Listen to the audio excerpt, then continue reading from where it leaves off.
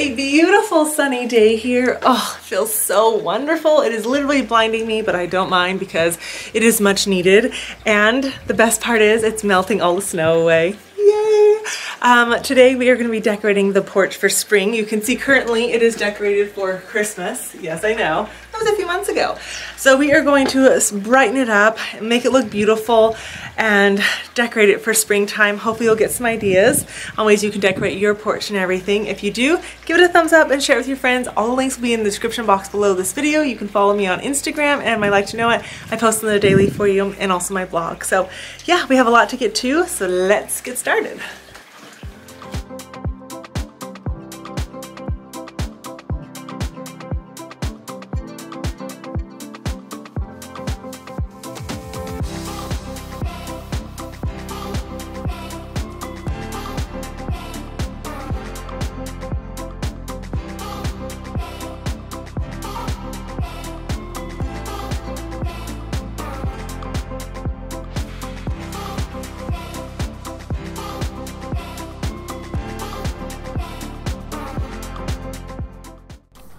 All of the Christmas trees and wreaths all came from Walmart.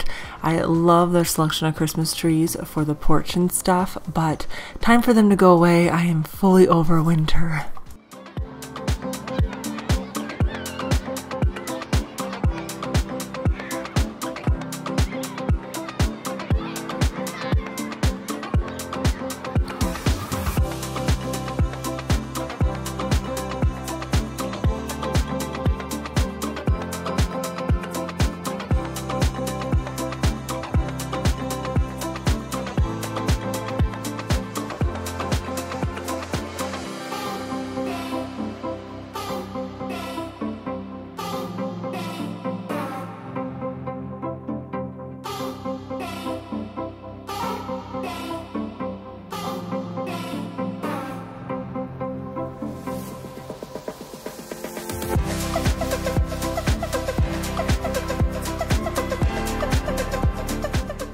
I was planning on using real plants for the front porch for some flowers, but they don't have any out at the store yet, so I'm going to use some of my faux plants. This faux boxwood is beautiful, but I'm going to save it for the back patio that I'm going to work on this coming week. Got my beautiful rug from Amazon. It's well.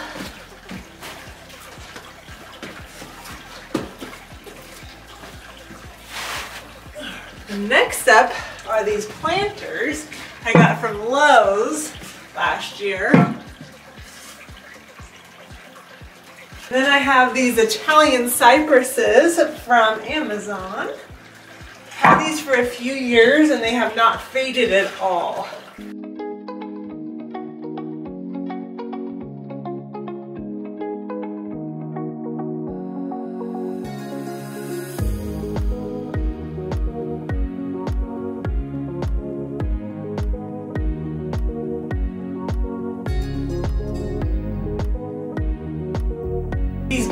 That have liners in them are from Walmart. Super cute.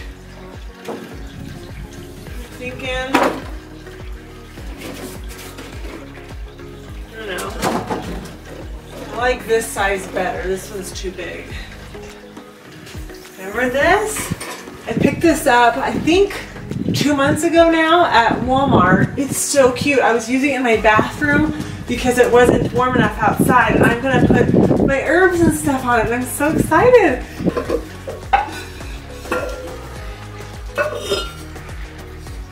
So, oh, I bought two different sizes and I didn't even realize that. Huh. I bought the bigger bottoms and I guess I could have just done the smaller ones. Oh well, it's all right.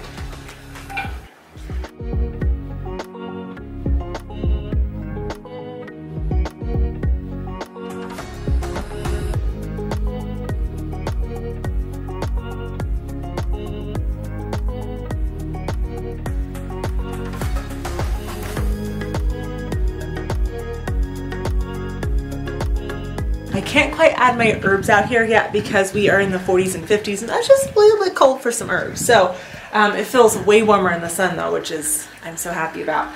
But I think I'm gonna go to the store and look for um, a couple flowers for the rest.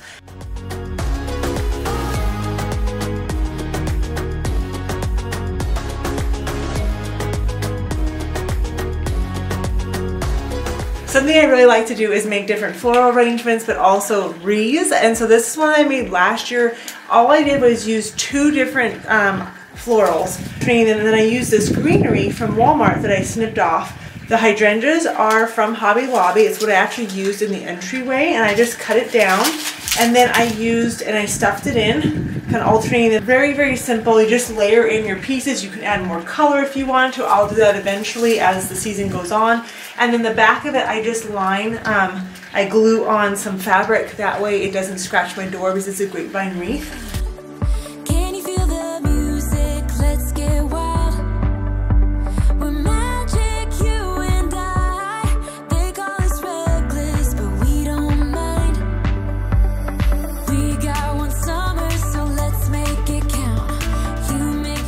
You can't find the item that you want at the store, make it. Or maybe you found an item at the store that you really like, but you feel like it needs a little extra jazz. Jazz it up, add your extra items. You can hot glue it in, or you can just um, cut the pieces and interweave them in. Super simple, but decorate your home the way you feel inside. If you want it to feel light and bright and airy, make it that way. I'm going to introduce pops of color as the seasons go on, um, but you know, it's probably going to be another month or so before we actually see some color in the plants that I have around the house, so I'm going to wait to add a lot of that color in. I love to garden, and that's one way that I get my colors in and everything is in my garden and it's just so peaceful. I love going out there. Sometimes I don't even cut my flowers because I just find so much joy in walking out there, sitting out there, watching all the bees and the pollinators come in, enjoy the flowers and just see all the life that it brings. It is so beautiful and peaceful. It's something I really enjoy. So, I feel like we need a sign because it just needs some extra life out here. It's feeling a little blah. And I have this one that says, and so our adventure begins. And I think this is so fitting for spring because it literally jumpstarts the season. We have so many fun things planned and adventures to go on. I think this is great. So.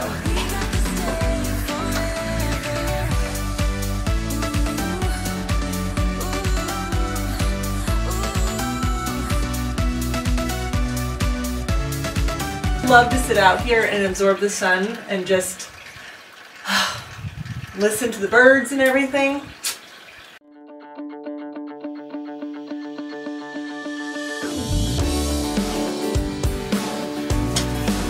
I think that looks good. I found this at Target outdoor section and the best part is it's zipper so you can wash it. But look at the texture on it. Isn't that pretty? And it's got the tassels and it's the perfect shade of green. I love this green and it'll just make the bench that much cozier. So I found these cute little bunnies at a yard sale, but Walmart does have some in the outdoor section, so take a look there. But I thought they'd be a perfect addition for the spring porch and a little nod to Easter in there. I cannot wait to add some real flowers and my herbs out here. So for now, the spring porch is three-fourths of the way done, but hopefully it's giving you some ideas and ways you can spruce up your outdoor space.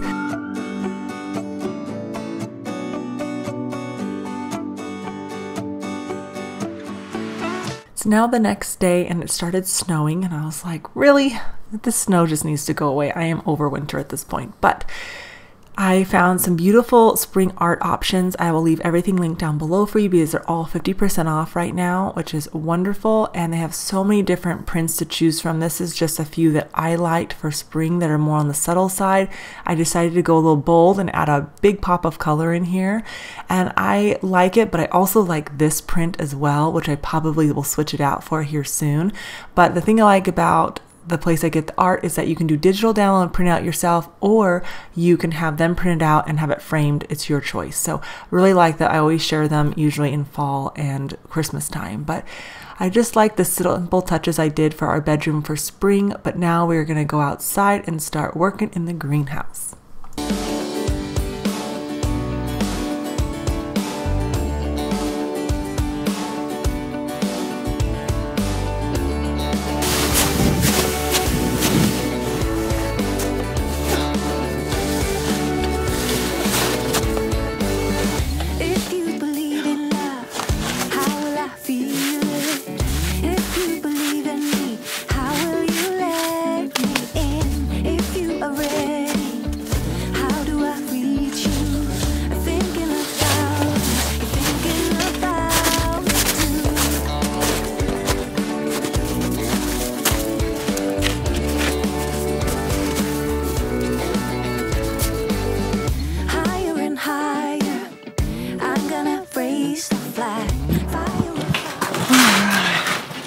Oh, the floor has expanded. Here we are in the greenhouse. A month or so ago, I actually took out a lot of the plants and stuff. I promise you, I'm in good shape. Just, yeah, not with the snow and gardening. Okay, the beds right here, I want to add, take out some of the soil that's in them because um, it's just not very good. It was supposed to be good, it ain't. So I want to take out some of that and I'm going to replace it with compost and then a raised bed mix that is really light and fluffy. And that's actually what I put in the greenhouse shed. And it grew so nicely in there. I added that actually to this planter over here. Grew amazingly. This one is just too dense. I gotta close that vent. Um, it's windy outside. snowing, sunny one minute, snowing the next, wind blowing in and out. But yeah, um, I ended up getting, it's gonna drive me nuts.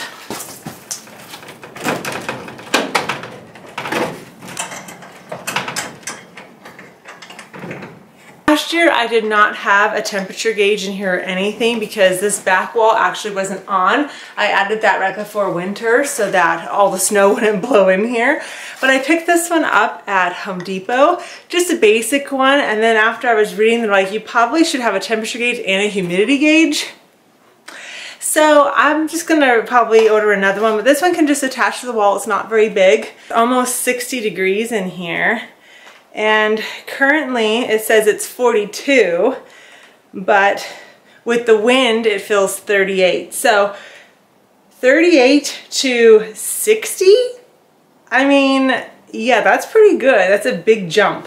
So I'm, it's probably gonna warm up too as it sits in here and the sun's not even fully out yet. I'm gonna probably put a window back here on this area and I don't know if I'll get to it in this video today, but I do wanna build shelves um, on this back area, like not shelves, shelves up top, one or two, and then I wanna build tables, planting tables in the back here. I just don't know if I'll get to that today, but um, I wanna get this hung up. I wanna take care of the soil the best I can. I also need to build another bed for over here, taller beds. For one, it has more root uh, area for the roots, but I'm taller and it's just nice not to have to bend all the way down to the ground. So um, I need to build one of those as well. So we'll see. I'm not sure how many cucumbers I'm gonna do this year. I'm gonna do tons of tomatoes in here, but the cucumbers, that I pickled for pickles. Um, I don't know, I'm kind of scared to try them. I know I need to, but I'm a little scared. Maybe we'll do that when I'm done in here and just see how they taste because I am really nervous they're gonna be terrible. These cucumber cucumbers are gross tasting. I mean, they were awful. And I'm like, maybe I just, I don't, I had them in the bed with some peppers and stuff and it was just irregular watering on my end. So that didn't help. I know they need even watering, so that was a mistake on mine. So I'm hoping that um, I'm probably just gonna do peppers and tomatoes in here, but I can't start those yet. I do have some seedlings going, but I wanna do like spinach and colder crops in here for right now um, until I add everything else in. So got a lot of plants in here. And then I also want to down the middle here put um, some raised um, just containers in and put flowers. I had flowers in mixed with everything, but I'd rather just have a row of flowers. I think that'd be just beautiful. And then I open the door and I'm just greeted with all the color. Oh, love that idea. So.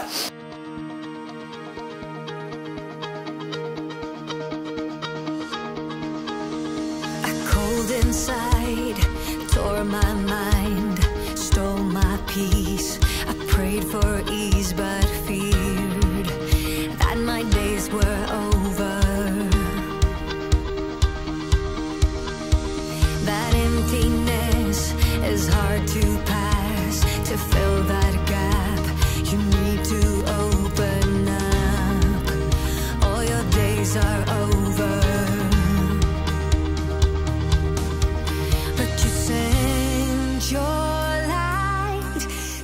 wheelbarrow in here and then shove all the dirt in it that I don't want. But I can't make it very far in the snow with the wheelbarrow.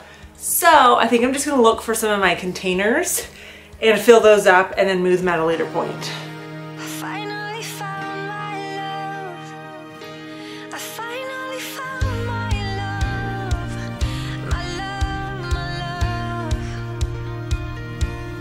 Give it one try